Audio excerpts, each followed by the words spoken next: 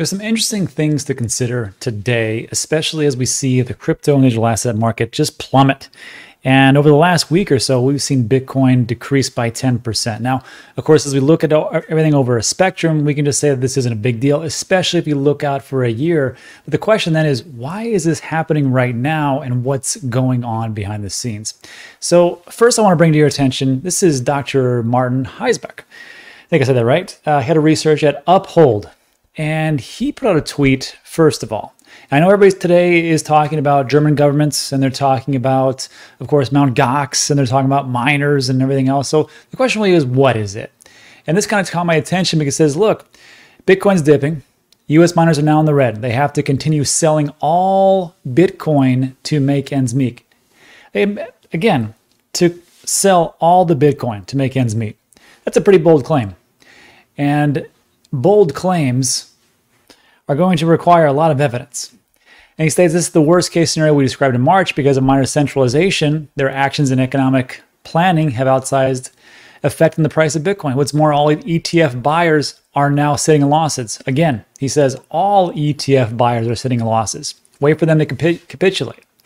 By late August, September, job losses will mount rapidly. The Fed will start cutting rates, blah, blah, blah, AI dreams, so on and so forth. Markets are always right, and no Mount Gox and German seized Bitcoin had nothing to do with this decline. So I thought about that. I thought about that pretty hard. I thought to myself, well, if it's not Mount Gox and it's not German, the German government selling off their, their seized Bitcoin, what really was it? And he's saying that it's because of these Bitcoin miners. But and what he talks about is that it's a direct relation to and that Bitcoin miners will now have to sell because it goes, goes below 60. So I'm thinking myself, what the heck happened when it was 66, 67K and it's dropped below? Let's take a look. So the first thing you have to remember is, and this is great point by uh, friend Andy here, and he says the Bitcoin crash that people are losing their minds over is very subtle. And this is normal. Like if you take a look back in 2019, 2020, if you take a look back even farther than that, most of the years when it is the halving year, 2020 will be a halving year, 2024 will be a halving year, 2016 will be a halving year. You have these big pullbacks, or some people call them corrections. And there might be 20%, there might be 30%. It's just how it is. And it's because we're in a volatile market, so don't flip out. I will remind you that just a year ago, Bitcoin was 25K. And now all of a sudden we went up to 73K and everybody's happy. And now we get the aftermath, which is what goes up fast will at some point retreat. And that's where we're at. So the question then is, well, you know, how bad is it? And again, if we take a look just over this time frame, it's not too bad. But the question then is, well, what about what he talked about in that tweet, which is all of the ETF holders are now out of profit, which he says right here. They're sitting in losses. Well, if we take a look at heyapollo.com, it's not really the case. And we can see that if we just take a track back here, that roughly around January 10th, January 11th, somewhere around there, that's when we had the approval of the Bitcoin ETF. That was $46,000. And of course, they bought in and it dropped. Of course, I'm sure the people that are have sold that to them, the Fidelities, the BlackRock, said, that's going to be okay. And it was. And it did just well. It went from 47, went to 50, went to 60, 68, 73. And of course, during that time, either people were buying or they were sitting on their their unrealized profits. Now, at some point, you're going to sell. And I hate to break it to you, but people sell all the time. They take profits. I know that people on different social media platforms will say that never happens and you should diamond hands forever. That's just how it is. It depends on what you want to do. And I can't give you financial advice. It's just that's just how it's been for an eternity. So again, we can see here that they're not sitting in losses.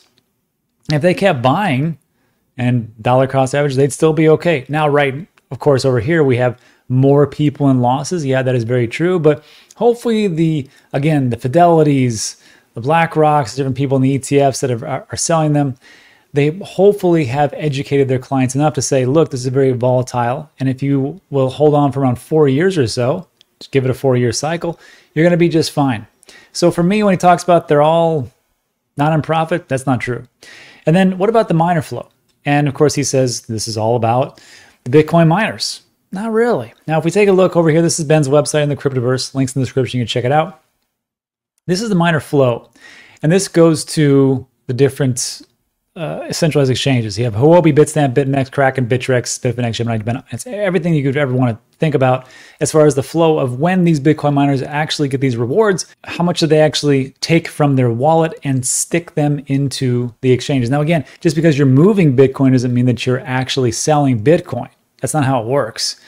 Bit, but me personally, like I've always said, I'm not moving my Bitcoin just for giggles. I do it for a specific reason. Usually, if it's going from my cold storage wallet to say Coinbase, it's not because I wanted to, it's because I got to sell. And that's where we're at right now. So if we kind of zoom into a little bit, this is the net flow. So we're taking what's going into the wallets for the Bitcoin miners, what's going out of those wallets, and we have our net. Here's the inflow. Pretty good, right? Here's our outflow. So we take outflow minus inflow, we have our net flow. I want you to zoom in real quick on this position.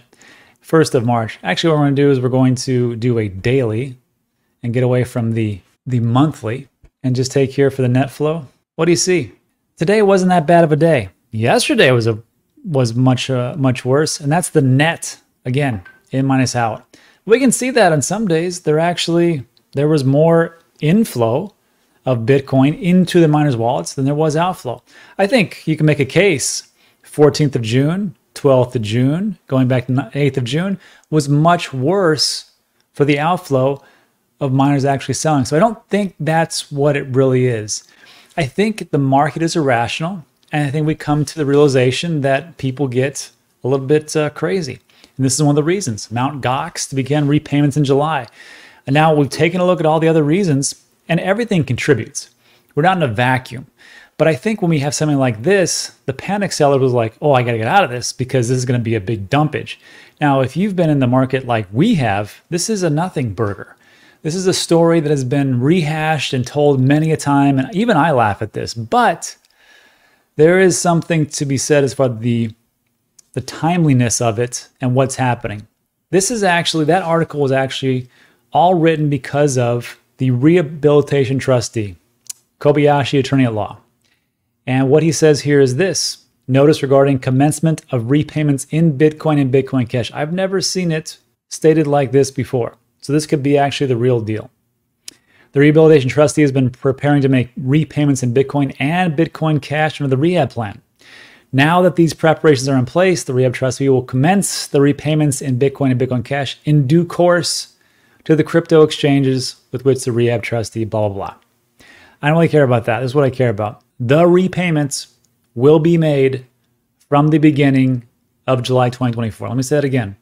Repayments made July 2024. That is part of the reason why everybody's flipping out. Are miners selling? Yes. Are ETF holders selling? Probably.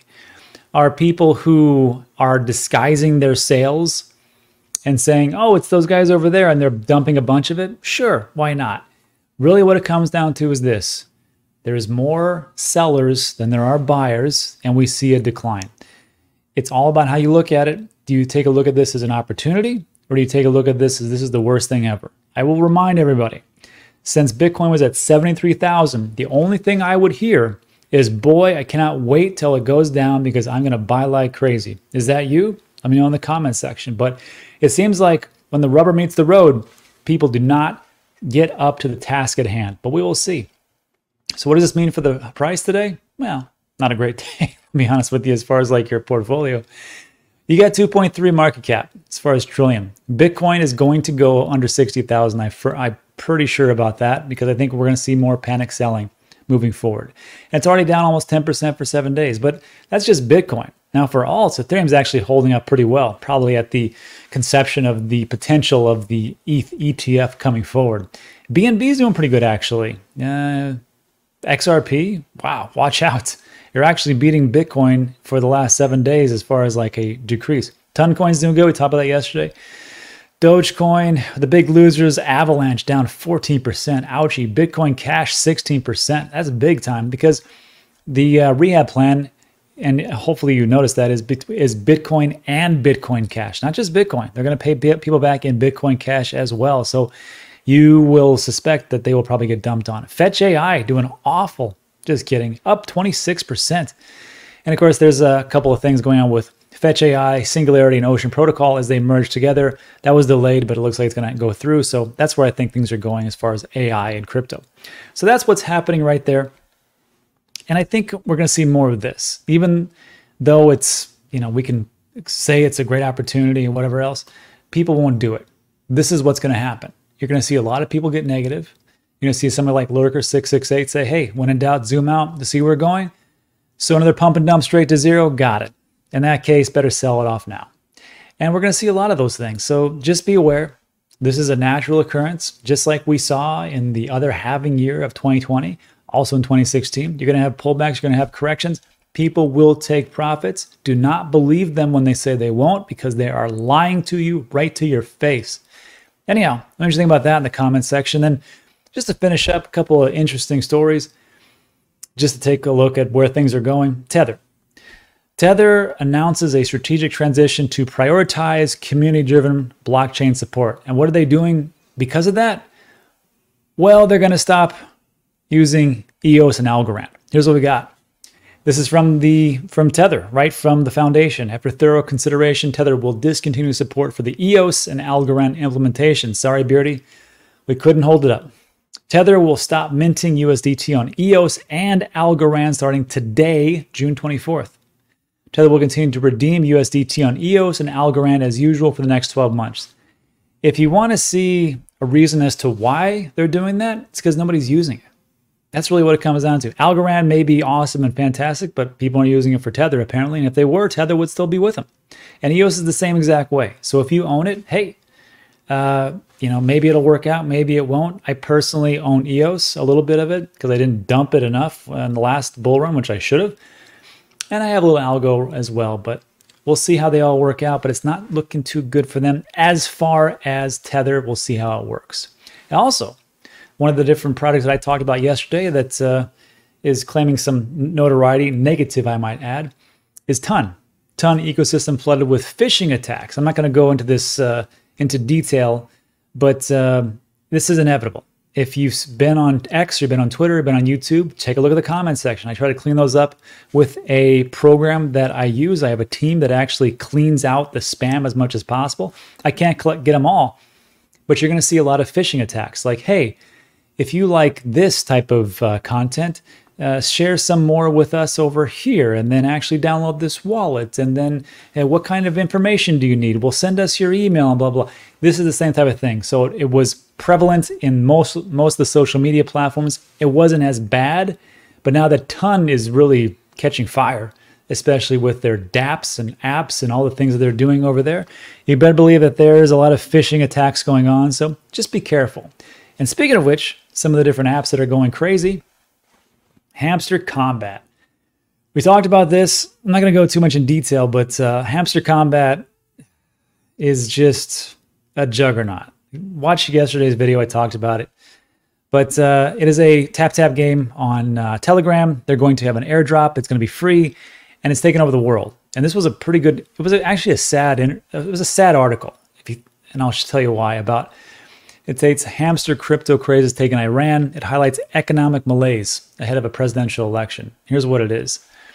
This is from Amir uh, Rashidi, the director of digital rights and security at the Miaan Group, expert on Iran. He says it's a sign of being desperate. And what he's talking about is all these people who are walking around in Iran and uh, parts of the Middle East just tapping on their phones because hopefully they can get an airdrop. And why is it desperate? Is because they're trying to hang on to anything. You got a tiny hope that someday this might actually be valuable. Those able to divest from holdings in Iran's beleaguered currency, the rial, real, I think, have purchased property, art, vehicles, precious metals, and hard assets. The reason why they did that is because there was the collapse of the rial or the actual currency, and also the collapse of Tehran's 2015 nuclear deal with world powers. So at the time of the deal, the, and this is what's what's sad, and this could happen anywhere. It could even happen here. As you know, all fiat currency eventually goes to zero. At the time of the deal, the exchange rate was 32,000 reals to a one US dollar. Today, it's 580,000 reals to the dollar. Imagine if you're trying to save. Save up for whatever else, save for a rainy day, save for your kids' tuition, save for your medical procedures, whatever it is and you had 32,000 reals for a dollar, now it's 508,000, you're broke. You're broken and it's it just becomes worthless. So no wonder people are putting their hard-earned money into assets that actually at least stay stagnant and hopefully will appreciate, such as property art vehicles and Bitcoin. Many have found the value of their bank accounts, retirement funds, and their holdings gouged.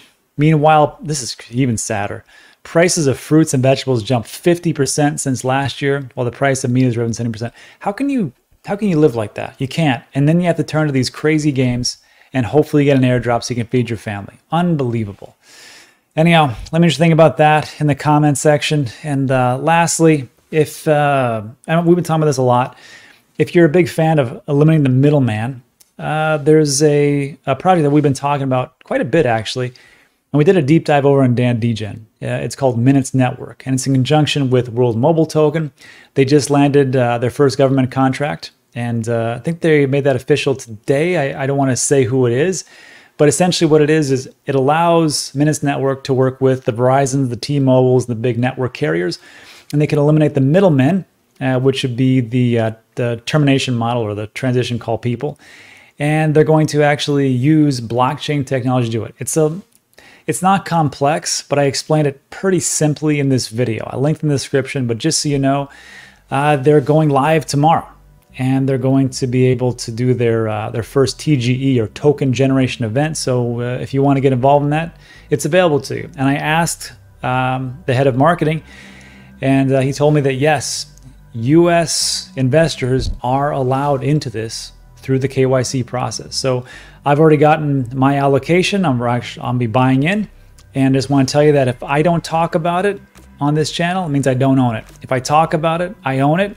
And I'm trying to be as transparent as possible, and that's it for today. So look, if you like today's video, give it a thumbs up. Consider subscribing. Everything we talk about is time sensitive. That's it for this one. Thanks so much for stopping by. I appreciate you, and I'll see you on the next one.